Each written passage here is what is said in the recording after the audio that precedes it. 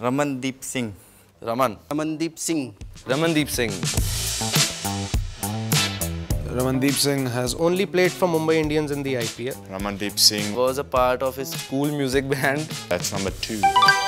Ramandeep got six wickets in the first IPL season. The third one. The six wicket one is Alain. Second one is hai. Wo band.